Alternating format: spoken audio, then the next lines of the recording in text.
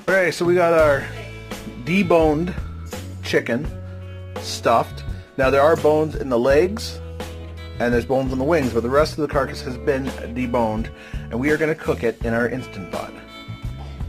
So first we're going to hit saute. You want to, oops, adjust.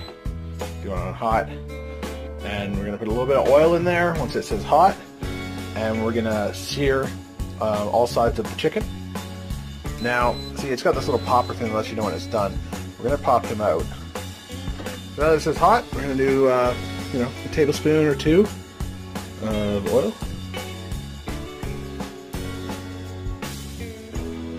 There we go. And now we're going to take our chicken. This is going to hurt. Woo! Okay. Ouch. Don't do that. uh, be careful when putting it in. It is really hot, and you will get splattered with oil. Um, anyways, now we're gonna move that around a bit. You want to get it, um, you can get it as crispy as you want on, on all the sides.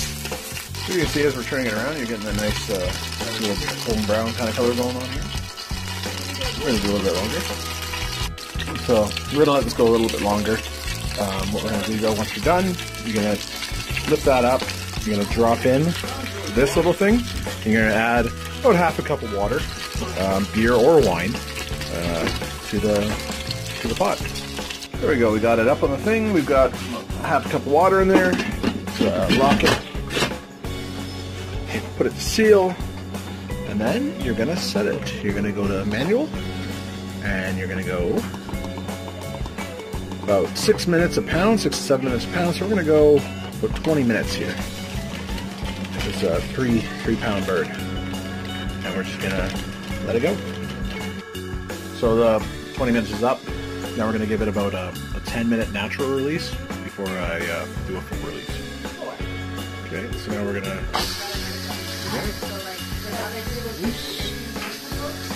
Sure. Keep clean surface here. There you go.